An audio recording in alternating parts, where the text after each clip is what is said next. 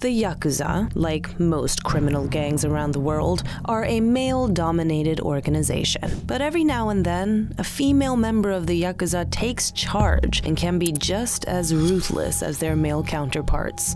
So, let's explore the secret life of a female Yakuza boss. The major gangs are kept under constant surveillance these days in a continuing war of nerves. Fumiko Taoka is one of the few female leaders of the notorious Yakuza organization. Her reign lasted for three years after she took over the role after her husband and then leader, Kazuo Taoka, passed away. She challenged traditions where men were very much the ones in charge by running Yamaguchi Gumi as successfully as her husband and made a name for herself in the criminal underworld of Japan. Fumiko Taoka was born in 1920 in Hyogo, a Japanese prefecture. She grew up in a family who worked hard but had little money. Her parents' coffee shop was successful enough to keep the family going, but young Fumiko would soon become distracted by another world altogether. When her mother became ill, she put in extra hours at the coffee shop, and during one of these shifts, she would meet the man who would change her life forever. Une femme qui est mariée à un yakuza, euh, son quotidien, c'est un, quotidien d'une femme au foyer euh, typique japonaise. Maintenant, la différence, c'est qu'en général, euh, cette femme de Yakuza aura toujours un peu cette, euh, cette anxiété que son mari rentre ou pas le soir. Kazuo Taoka was 20 years old when he first saw 13 year old Fumiko. For the last several years, he had been training to become a gangster, but had not yet secured himself a place in a gang. Neither of this mattered to Fumiko and Kazuo, as they both fell in love almost straight away. But before they could explore a life together, Kazuo was arrested and sent to prison for a year. After his release in 1935, the young lovers would be reunited, and Kazuo would even ask her father for his permission to marry her something her disapproving father refused to do. Eventually, with Fumiko going against his every wish, he did the unthinkable and disowned his own daughter. The couple, now free to do as they pleased, decided to live together, and this happened to be around the same time that Kazuo would finally gain membership into a gang, the Yamaguchi Gumi. And what this gang did to rise to the top of the Yakuza world will shock you to the core. During this era of increasing infighting, the violence didn't end within their own ranks. The Yakuza is always ready to go after anyone who decides not to play by their rules. Between 1915 and 1942, the Yamaguchi Gumi had remained a small operation remaining relatively under the radar. It was started by Harukichi Yamaguchi and then taken over by his son, but they remained a relatively small group. When Kazuo Taoka became Kumicho, he not only intended to increase the dozen or so members, he intended to become the biggest and the best. The first message is to the Yamaguchi Gumi and to the Yakuza that we will not tolerate your presence in the United States, and if you do any financial dealings in our country are, are relating to the United States, we will come after your money and you. He took the former gang from the docks to heights they could have never imagined. He utilized extortion, labor racketeering, gambling, loan sharking, smuggling, and many other illicit means of bringing in money. The Yakuza set up their own auditing firms, they set up their own investment houses. They are Japan's largest private equity fund. And so when the Japanese stock market is being manipulated by antisocial forces, uh, that's not a fair deal for U.S. investors. Kazuo had attracted 10,000 members in the Yamaguchi Gumi, and they were becoming a wealthy and powerful organization, something they chose not to hide. That soon caught the eyes of the authorities and their enemies, and soon an attempt was made on his life. The brutal assassination attempt was made by a member of a rival gang, the Matsuda Gumi. While at a dance competition, the assassin shot Kazuo in the back of the neck in a savage and public attack. Kazuo managed to survive, but his attacker was not so lucky, as several weeks later he was found dead in isolated woodland near Kobe. If you crossed the Yamaguchi Gumi, and especially Kazuo, you would be punished. Kazuo didn't earn the nickname the Bear for nothing. He was infamous for clawing at his enemies' eyes. His organization had huge criminal and political power, and they knew how to use that to their advantage. Oh yes, they've, they've got absolutely no qualms about taking action against people who offend them. Uh, the well-known Japanese film producer, for example, dared to produce a film which showed the Yakuza as criminals and thugs as opposed to the samurai image they like to portray. Well, he had a run-in with two people with a samurai sword outside his office and required hundreds of stitches through his face. And this is a world, world-renowned film producer. Kazuo had become the richest and most powerful gangster in all of Japan, and Fumiko played a huge part in his success. Almost immediately after they moved in together, Kazuo was sentenced to eight years incarceration, and that left Fumiko with a huge predicament. Does she stay? Or does she go? Despite her father's pleas to return home, she decided to stay by her love and even communicate with other members of the gang on his behalf. She gained respect from the members and began to prove that she had what it took to be a leader's wife and so much more. After his release in 1943, it took him only three years to conquer the ranks of the Yamaguchi Gumi, and after the death of the mob boss, he finally had his chance to lead them to success. And now they were married. Fumiko would adopt the life of being a wife to a member of Yakuza. On ne devient pas Yakuza quand on est une femme. Euh, en revanche, les femmes qui ont épousé les Yakuza sont totalement partie du, du groupe. Après, leur rôle va dépendre en fait du, du, rang, du rang hiérarchique de leur, de leur mari. Mais une femme qui aura épousé un chef, par exemple, aura des responsabilités liées au groupe. Elle agit euh, à, travers, euh, à travers le chef puisqu'elle a un rôle de, de, conseillère, elle gère les finances.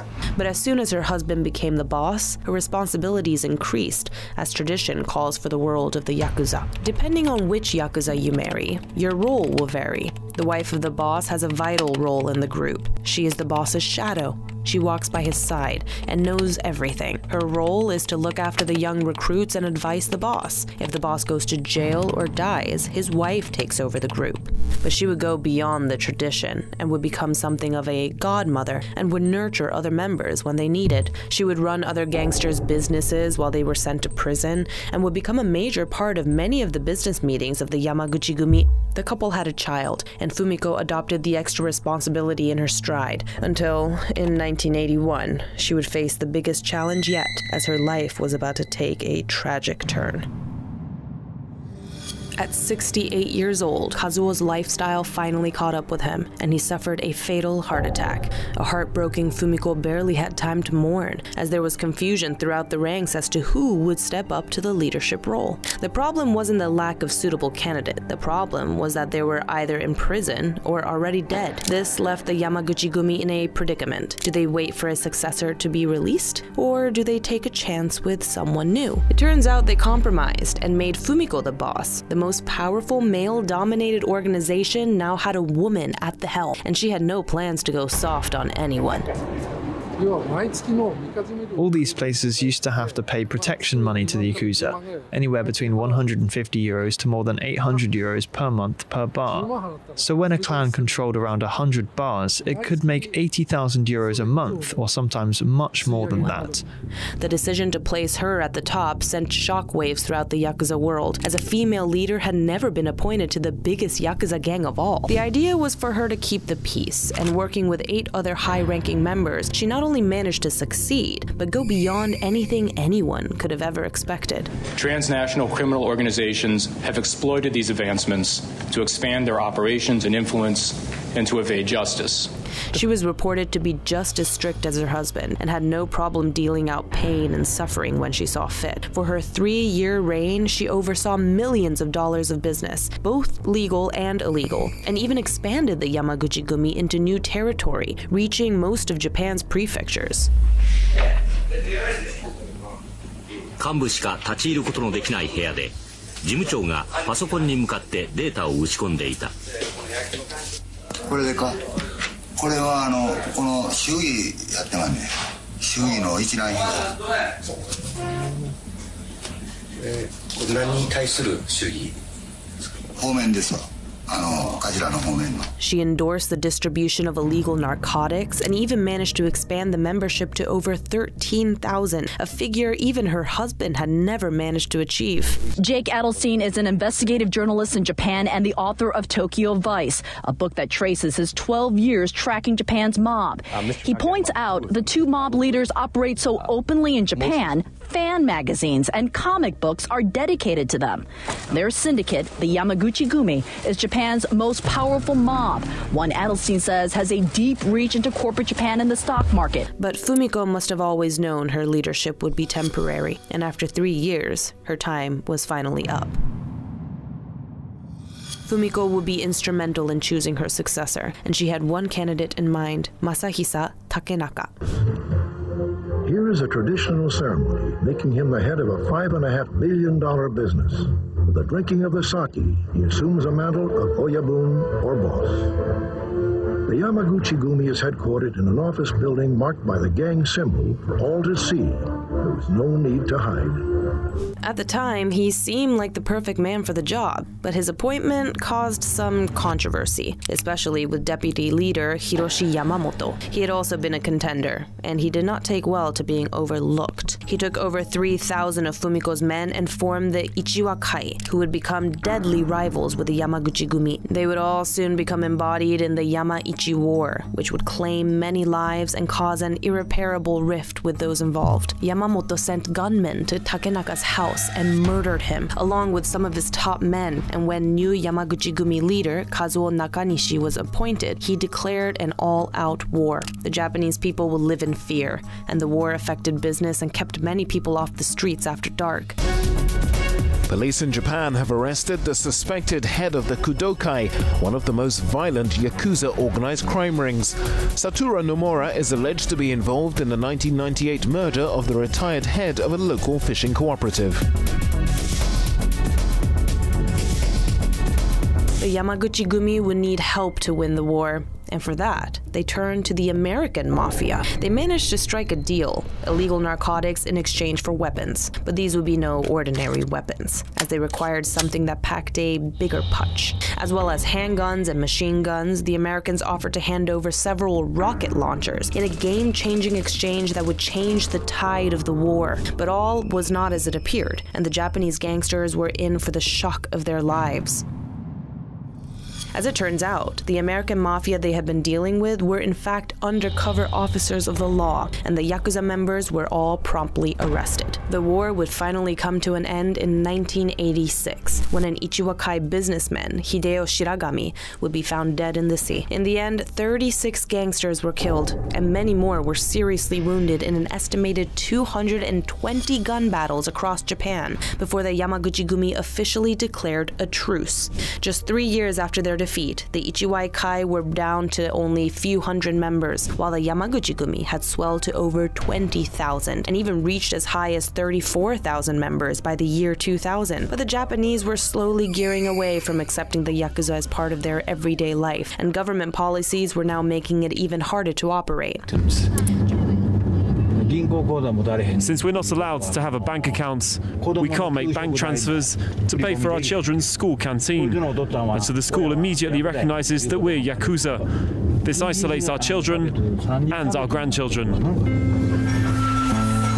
Japan had simply had enough of the Yakuza influence. The authorities effectively declared war on the Yakuza in the 1980s, but they have been helped by the economic and demographic problems the gangs have faced ever since. A lot of gangs tried to legitimatize their operations during the peak of Japan's bubble economy, years, and went into finance, but they lost heavily when the bubble burst.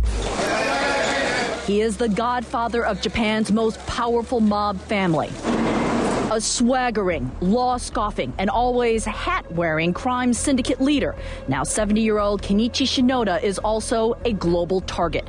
The U.S. Treasury moved to block Shinoda and his deputy And as the numbers of members dropped, the gang slowly began to fade away. Shinichi Ishizuka, a law professor and director of the Criminology Research Center, was reported as saying, For the last 20 years, young people in Japan have had little interest in joining a gang because it's poorly paid, long hours, and a violent way of making a living. People don't want that, and they would rather have a proper job. So gang members are inevitably getting older and not getting replaced. Fumiko Taoka ruled her empire before the introduction of the anti gang laws that brought down the demise of the Yakuza. But it is perhaps ironic that Fumiko's last appointment after a highly successful run as a gang boss would cause the biggest rift in the history of the Yakuza, and maybe even bring about the beginning of the end, way before the government intervened. Her death at just 66 years old left a huge hole in the Yakuza world, and her funeral was a major event. Members from across the world came to attend and pay their respects to the true godmother of the Yakuza. The legacy of Fumiko Taoka changed the face of the Yakuza, and although as a female her reign is rare, she did earn the respect of her own and other men as one of the best gangsters in Japanese history. Let me know what you think of the extraordinary life of this brutal yet cunning woman, and don't forget to like and subscribe for more of the world's biggest criminals.